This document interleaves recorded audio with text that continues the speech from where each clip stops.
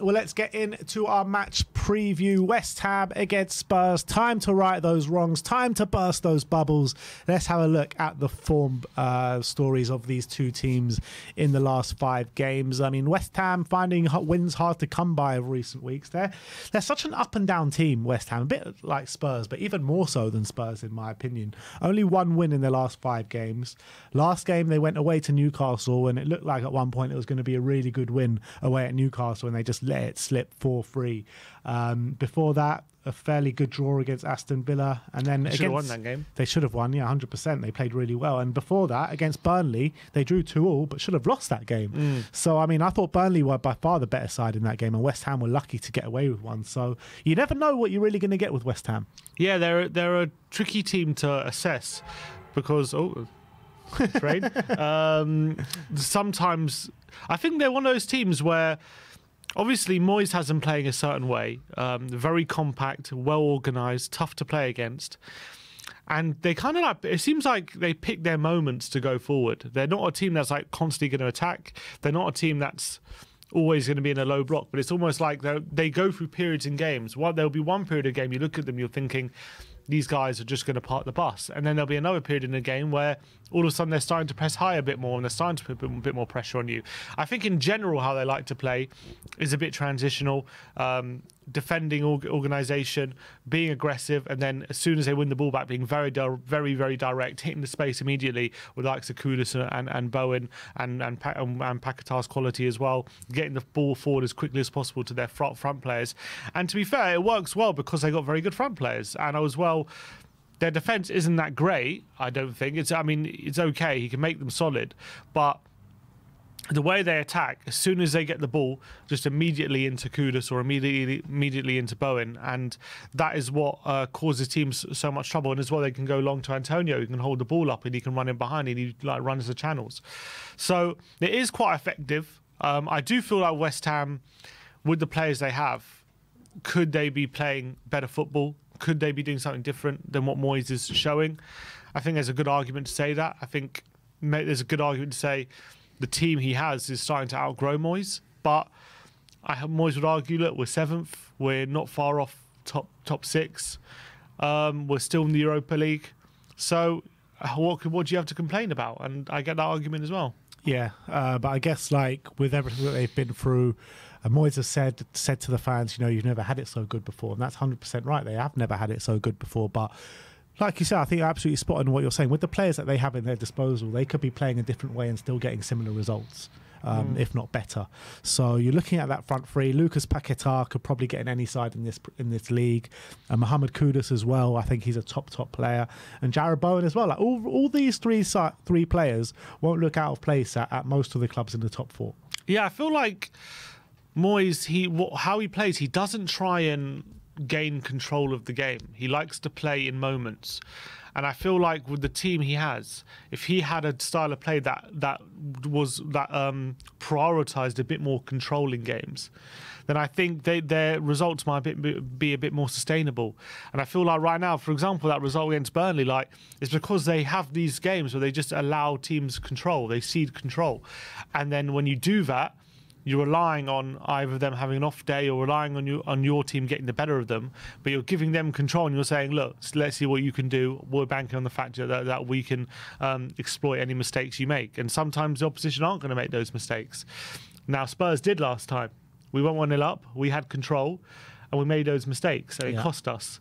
But if we didn't make those mistakes, we probably would have won the game. Yeah. And that's the kind of give and take you uh, get from the kind of way Moyes, is, Moyes set up his team. Yeah, and it's so important, especially in a game like this where it means so much to the fans, uh, particularly the West Ham fans. You know, they'll be so up for it uh, tomorrow night at the London Stadium under the lights, which always brings a different kind of intense atmosphere when it is under the lights. It always seems to be West Ham away on a midweek um, nighttime game uh, when mm. we're playing them these days, and it always has that like kind of gritty feel in the air and always the sense of of some sort of trouble was just around the corner.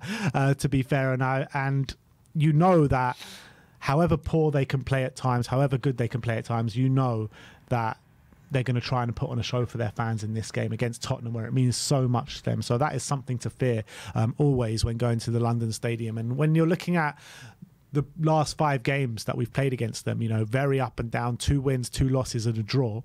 But quite amazingly so, we haven't won at the London Stadium since Jose Mourinho's first game. Yeah, they've got a good record against us. So that, um, that shows how difficult it is to go there and, and, and win. Um, because you know only in recent times though because before that weren't we on like a run of like three four straight wins at the london stadium yeah that's true but maybe west ham also weren't very good then mm. you know because uh, when did moyes his second spell start i can't remember i think it was maybe around the time of uh, i think it was just after jose's first game because i think that was jose's first might have been pellegrini's last game i think right. or something like that um, so uh, yeah, I think they're been a better team, and since they've become a better team, they have that more. They have more of that confidence when they face us at home. Also, we have been a worse team as well. It's important to note. Under when we used to beat them at, at the Olympic Stadium, there's usually a lot of it was under Pochettino, yeah, and we used to get really good results there. But things have flipped um, in this in this uh, in this game, and they've improved. We declined previously. I would say now, hopefully, we'll get, we're going on the up again. Um, but they're a tough team to play against. Uh, now I'm looking at their team. You know, they've got very, very difficult players um, to deal with. So you can see from the head to head, we don't always have our own way against West Ham. And obviously, the game at the Tottenham Stadium back early in the season, that was one of those games where, uh, you know, just fell into West Ham's lap uh, somehow, and they ended up getting the victory. But I, I also came away from that game thinking, as much as they won that game, did, I don't feel like that kind of football sustainable, and I think it's kind of proved it a bit. Mm. In terms of the West Ham team going into this game, I mean, they are just a completely different team when Lucas Paquetá is in the team. He knits everything together. Uh, when he's got the runners of Bowen and Kudus and Antonio off him, he makes him such a dangerous player. And, you know, behind them, you've got Ward Prowse and Soucek. I, I did expect a bit more um, from Ward Prowse in this West Ham team, to be fair. I don't think maybe the signing has worked out than what it was looking like to work out in the first few games where he was just so dangerous from set pieces and getting goal contributions. Hasn't worked out that way, but what has worked out to be is a solid midfield pair in Soucek and, and Ward Prowse. Um, you're looking at Alvarez being suspended. Uh, that's a big miss for them. Aguerd and Areola are both doubts. I mean, Areola went off at half time, didn't he, at Newcastle? He's confirmed out, actually. Uh, he's confirmed out now, is he? That's good. That's good news for us uh, with Fabianski in goal. And um, Coufal, Mavropanos, uh, Zouma, and Emerson. It is a defence you can get at. Yeah, I think their defence is actually the weak point. Um, I think Zouma and Mavropanos actually recent times are not having a great time of it, to be honest. I actually think Coufal's having a playing quite well, although he did give away a penalty on the weekend to Gordon. I think recently he has been playing quite well. But I think Zouma and Mavropanos haven't quite clicked together, and obviously adding uh, uh, aging Fabianski behind him, and that's definitely a defence that can be got at. Now, the problem you got is well actually Edson Alvarez obviously out so that's a massive plus because he's a really important player for them but the problem you've got is they got two midfielders who are very combative. You've got Soucek, you've got Ward Prowse, who like to do get around the pitch, do put in a challenge or two. I do think it'll be a massive benefit to us, no, no Alvarez though, because I think from a defense, from like defensive quality point of view, I think he's really great. He makes so many good challenges and interceptions, and and his awareness is uh, is really great, and his physicality. When I see Soucek, he's obviously a big unit, but he's also someone who, from from a on the ground defensive point of view, can definitely be got at a lot more than Alvarez. I think he missed times a lot of his tackles. I don't think he can get around the pitch like Alvarez can as well. He's a lot slower, and from Ward Prowse's point of view he's a combative midfielder, but he's that's not his biggest strength. He's much more of a, a ball to feet kind of midfielder. As much as he he always gives hundred percent, he'll put a challenge in, but his biggest strengths don't lie in his defensive game, in my opinion. His his his biggest strengths lie in um, his ability on the ball, his passing range. Uh, that's and that's what he was getting praise for at the beginning of the season. He went on a really good run, didn't he? First four or five games, getting a lot of goals. Um, but I always felt it wasn't sustainable. And as soon as that started to dry up, all of a sudden he's getting left out of the team because if he's not providing those moments on the ball, then you might you're better off having Alvarez and and Soucek. I guess that's what Moyes is is uh, deciding. So that midfield is tricky, but defensively can be got at. But the problem is on the ball, when you've got Ward Prowse and Paquetá in the middle, that's something to be very concerned about, especially Paquetá, who's having a wonderful season. But if our midfielders, let's say we go for the midfield that we say Bentancur, uh, Maddison, and uh, Bissouma, right? If we go for that midfield, surely that our midfield could potentially have the legs on, on that midfield and Oh. really potentially run rings around them. I would think so. If it's going to be Ward, Prowse, and Soucek in a pivot, then I think we would have the legs on that, especially if we have a fresh Bentancur who looked really good against uh, Luton. Bissouma getting back to his best a bit. Um, and Maddison, uh, I, I think Maddison will become very, very hard for them to track as well. I think he'll be in all those half spaces. I don't see Soucek being able to deal with that. I think it's going to be very difficult for him to do that. So I do think the midfield, we might have the upper hand there. I think obviously in the front line, um, the wingers against the fullbacks, you got Werner and Johnson against Emerson and Coufal. Um, I think their fullbacks actually pretty good. You know, I was I thought going looking at their game in the Tottenham Stadium, I thought was one of their biggest weaknesses, but I was proved wrong. They actually had quite good games that day, and I think uh, of late I've looked at them and they're actually not not bad. I do think defensively they can be caught. I think they're uh, they're decent going forward, but defensively, you know, with, uh, they don't have the pace that our wingers have. So I do think if they if they get some space and drive into it, they can be got at. But it's whether they give them the space, and that's you know West Ham don't like to give space, so yeah, that's going to be interesting. I think people sleep on Coufal a bit because he's got the same return as Pedro Porro has this year, seven assists, and he doesn't take the set pieces where Pedro Porro's had had a few from uh, set pieces. Um, so he's got probably more open play assists this season than Pedro Porro, same amount as Brennan Johnson as well. So I mean, he is having some season. He's got good delivery on the from the on the on the from fullback. I don't think he's like as good as Porro when it comes to like his general play, like his on the ball passing ability and stuff like that. But when it comes to just natural, like purely when he gets to the byline and his delivery from uh, around the penalty area, it is pretty good. And um, I think he got an assist for Antonio against Villa uh, with that diving header. That again falls from across from the right hand side. So he definitely has that delivery. He's capable of it. So we might have to make sure that um, whoever's playing, um, or if it's Werner on the left, he's tracking him because if you allow Coufal that delivery, it's going to be difficult to stop Antonio in the box. Yeah, um, and look, like like we say, they've got someone to aim at as opposed to we don't really have someone to aim at to float those crosses in like that. We need the low driven ones for Sonny to get on the end of, or Werner or Brennan to get at the back post.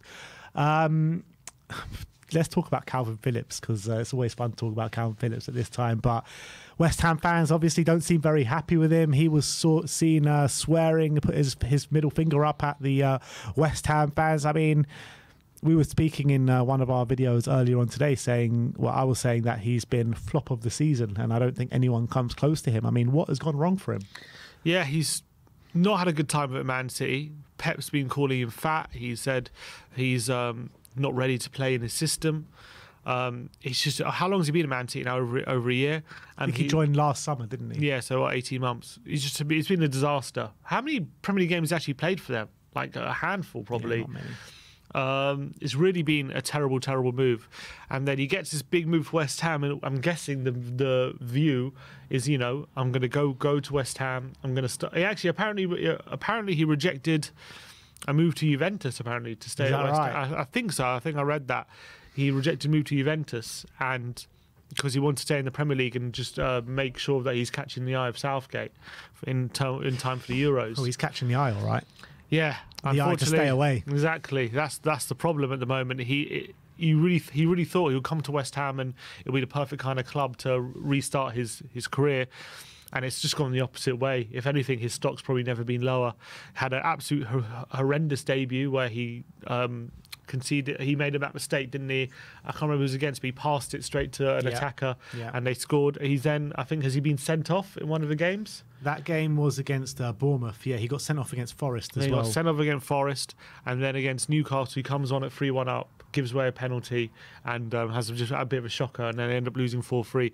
Really couldn't have gone any worse uh, for, for Phillips. So I don't think he starts this game. I, would don't love know. him to start, I, yeah, I, I just think if I don't think Moyes is going to want to put him under that kind of pressure in such a big game because imagine he starts this game and he has a, and doesn't play well, the knives are really going to be out for him from the West Ham fans because it's their cup final. So it's really going to be different. like they wouldn't be able to tolerate that. Um, if he had a stinker at home to Spurs, I'd be his last game probably. So.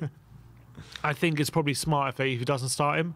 Um, look, we all know as a player in there, we all know what a good player he was at Leeds, and, and we the Euros of 2020, he was brilliant in the, in uh, in that tournament. He was a star performer. He got player of the tournament, didn't he? From an England perspective. was he England player of the tournament? Yeah, probably. I'm pretty sure he was England player of the tournament. And now, fast forward four years, Kobbie Mainoo's ahead of him in the pecking order. Oh, yeah, and he's you know getting pelters by West Ham fans calling him useless, and he's putting his middle finger up. That that's where his career's gone.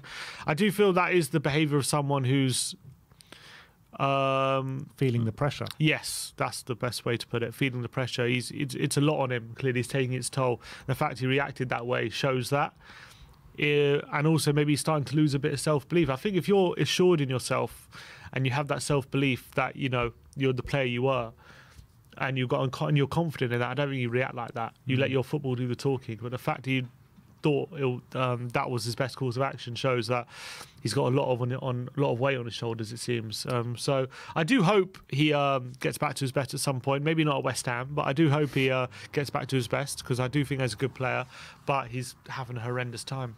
Yeah, absolutely. Um, I thought it was very smart from Ange Postecoglou not to, to resist the temptation of playing Mickey van de Ven against um, Luton on the weekend. Now he's fresh uh, with a few days more um, uh, training behind him. Didn't play at the weekend, didn't even get one minute. And now we're going to need him so much. He's probably going to be one of our most vital players tomorrow night. Yeah, um, especially when you've got people like Bowen and Antonio running in behind and causing trouble, uh, exploiting that space. You've got Antonio who likes to run the channels. So even West Ham, when they're, even if they're not playing an accurate ball, what they'll do is they'll just put it into the channel and just let Antonio chase after it. So and uh, and when and they bank on him basically getting there first and being able to hold it up. That and uh, a lot of the time it does work. So the big uh, element for Van de Ven is making sure when they do that, he's getting to the ball first and not giving him that opportunity. And they've got one of the best in behind attackers in the league, in my opinion, in uh, Bowen. I think he's such a threat in those situations, um, getting on the end of through balls. You even saw it on the weekend. Kudus played a lovely ball into him. He had still had a lot of work to do, but he carried the ball about uh, half the length for the, uh, about 20, 30 yards and slotted it with his right foot. Um, so Bowen is an exceptional threat. Um, so I think that left hand side there's going to be a lot to deal with. Um, Kudus on that on the other side um, is more of a ball to feet kind of player. He likes to take people on with his dribbling ability. So Porro's going to have his work out there. But in terms of the left hand side, that's where a lot of the running in behind is going to happen, in my opinion. And so Van de Ven's got to be alert to that. Mm. Yeah, well, it's going to be an almighty battle tomorrow night at the London Stadium. It's time to burst those bubbles once and for all this season. And I can't stress how important this game is. Um, not only to put West Ham back in their place, but also in terms of the top four race. We've got two games now this game and the Nottingham Forest game at the weekend. And then those big games start to come the Newcastles, the Arsenals, um, the Liverpools. Uh, Man City is going to be later in the season now.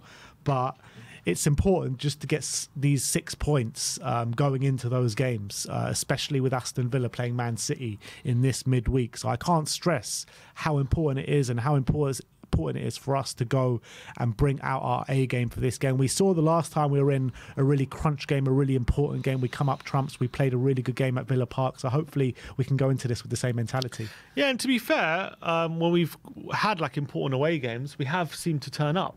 Emirates, we turned up. Etihad, we turned up. Villa, Villa away, we turned up. So I hope we follow suit uh, in this one. Obviously, we have had some difficult displays away from home as well, but I think by and large, in like the bigger games away from home, Old Trafford as well. To Old Trafford, extent. we had a depleted team and we got a draw.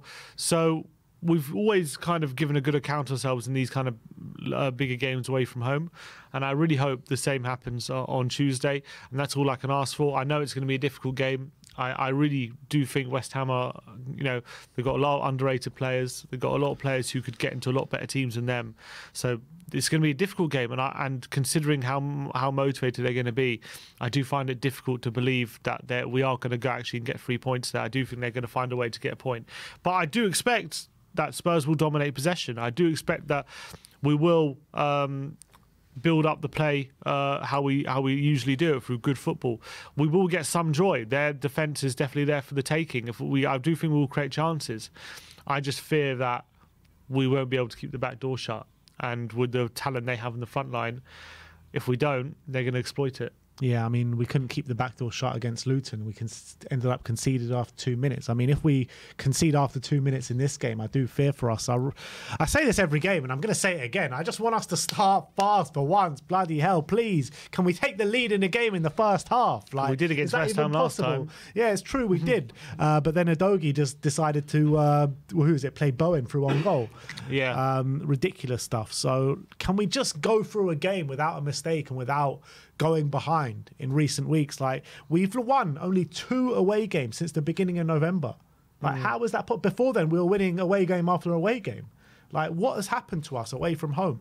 Like seriously. Well, we're a lot of that. loss against Fulham last time out. Yeah. Before that, we beat Villa 4 0. Then Everton happened, then Man, Man United happened, then Brighton happened. And before mm. that was Nottingham Forest, where we won. So, I mean, we're really not having a good time of it on the road, and it's time to right those wrongs. Yeah, and it's I it's going to be very, very difficult to do that in this game. I really believe that. I don't know if we will. Uh, just the, the level we're at at the moment. I actually don't think we're playing badly. Um, obviously, Fulham game aside, recently the performances have been a lot better. I thought Palace, Villa, and Luton was a lot better than the previous games before that. We're not playing badly, but we're not playing to our capabilities. We're not blowing, we're not blowing anyone away. Um, that's reality, and I don't see us blowing away West Ham on Tuesday either. I think West Ham are a good team, and they're gonna they're gonna really be up for this one, especially under the lights on an evening game as well. Uh, they're going to try and make it a hostile atmosphere. But if Tottenham do get like an early goal or they do settle down quite early, then I wouldn't be surprised if you, they, that we really do like control the game. Mm. I think we have the capability of doing that. You know, maybe it, it's very it's very possible we could click into gear. Van de Ven is um, stopping those runs over the top. We're just and then all of a sudden we're penning them in and we're not allowing them out because there will be a point where we are they're allowing us control of the game. They're in their deep block and they're giving us control and they're going to say to us, "Hey, can you break us down?" Now, the Tottenham Stadium last time out, we they did that and we couldn't really. We got the goal, but we we created some half chances. I think Richarlison, I remember, missed a gilt edge header right at the end, but we didn't create enough good quality chances. So we just got to make sure that in this time around when in those moments in the game when we're on top we have to take full advantage of those moments because it's not going to be the whole game like that. Yeah and i, I would say as well like when we go back talking about mickey van de ven like our win percentage with him in the team is just insane and we have so much more of a chance of winning games and shutting the opposition out if he is in the team. He mm-hmm. is that good.